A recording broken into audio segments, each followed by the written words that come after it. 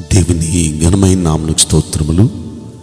ఈ వాగ్దానం వింటున్న మీకందరికీ మన ప్రభువును ప్రియరక్షకుడైన యేసుక్రీస్తు నామములో శుభములు.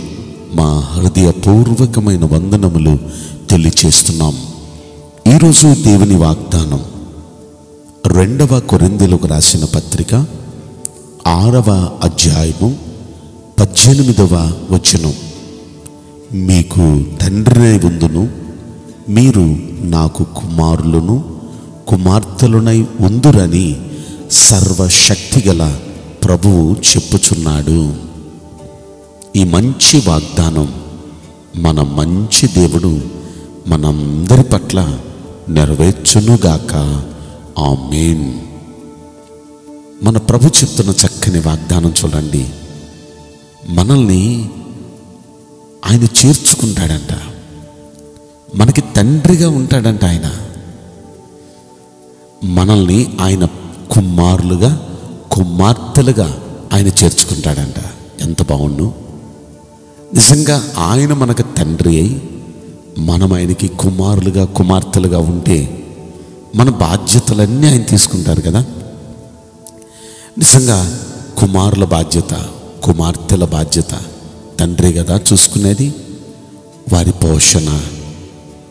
అలాగే వారికి కావాల్సిన ప్రతి అక్కర. తండ్రి కదా చూసుకుంటాడు. అంత మాత్రమే కాదు సంరక్షణ. సంరక్షణ అంటే ఎప్పుడు ఏ అనారోగ్యం వచ్చినా బాగు చేయించటం ఏ ప్రమాదం రాకుండా కాపాడటం ఎవరి ద్వారా ఏ విధమైన ప్రమాదం జరగకుండా కాపాడటం.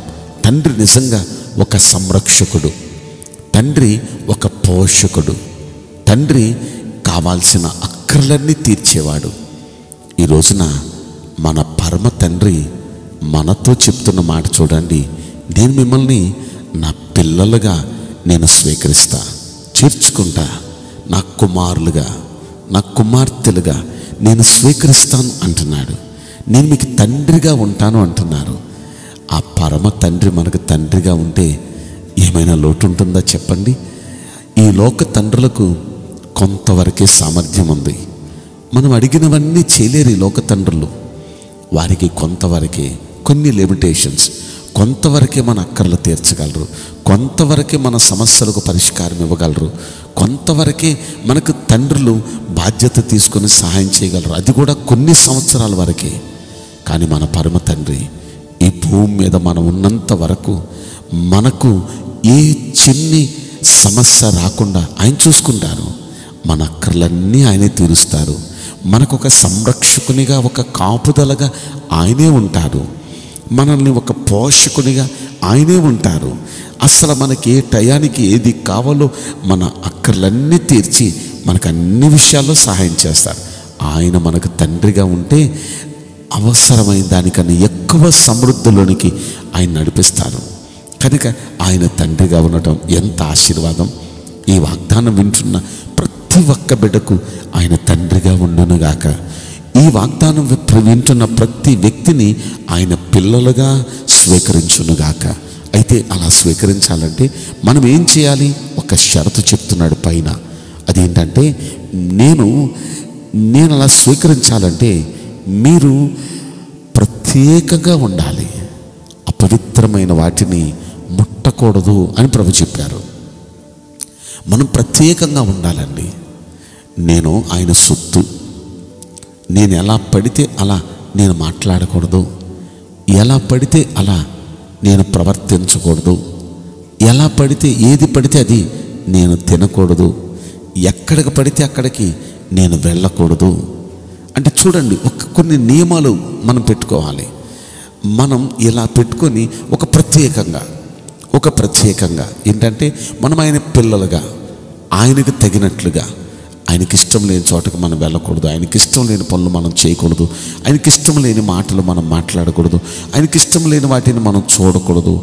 ఆయనకి ఇష్టం లేని వాటిని మనం వినకూడదు. ఇలా ఏమేమైతే మనం దేవునికి ఇష్టం ఉండవో చెడ్డవి అనిపిస్తాయో వాటన్నిటికీ మనం దూరంగా ఉండాలి. ప్రత్యేకంగా ఉండాలి. అలా ప్రత్యేకంగా ఉండి అపవిత్రమైన దేన్ని మనం ముట్టకుండా జాగ్రత్తగా మనం ఉంటే మన దేవుడు మనల్ని ఆయన పిల్లలుగా స్వీకరిస్తాడు.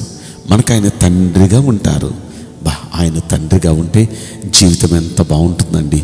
ఎంత అద్భుతంగా ఉంటుంది. ఈరోజు నీ వాగ్దానం వింటున్న ప్రతి వ్యక్తిని అలా ఆయన తండ్రిగా ఉండి పిల్లలుగా స్వీకరించునుగాక. ఆ మెయిన్ నేను మీకోసం ప్రార్థన చేయబోతున్నాను. పరిశుద్ధుడా ప్రేమగలేసు రాజా మీ పరిశుద్ధ బంగారు పవిత్రమైన నామ్మునకు నిండు మనసుతో కోట్ల కొలదిగా స్థుతులు స్తోత్రములు వందనాలు చెల్లిస్తున్నాం.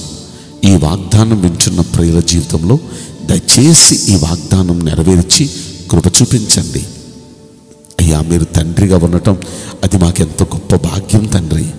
ఈ లోక తండ్రులు కొంతవరకే మమ్మల్ని కాపాడగలరు కొంతవరకే మా అక్కర్లు తీర్చగలరు కొంతవరకే మాకు సంరక్షణ చేయగలరు.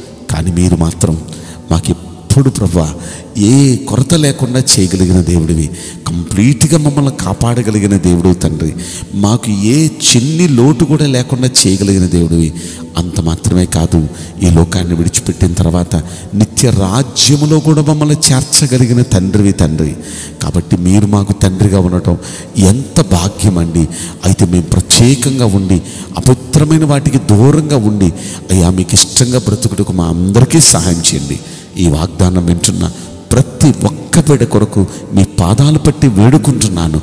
వారిని మీ పిల్లలుగా స్వీకరించండి. వారికి మీరు తండ్రిగా ఉండండి. ఈ కార్యాలన్నీ జరిగించమని ఈ కొద్ది మనవులు నసురుడని యేసు క్రీస్తు ప్రశస్తమైన నామములో మిక్కిలి వినయముతో ప్రార్థించి బ్రతిమలాడి వేడుకుంటున్నాం ప్రియ పరలోక తండ్రి. Amen may God bless you all thank you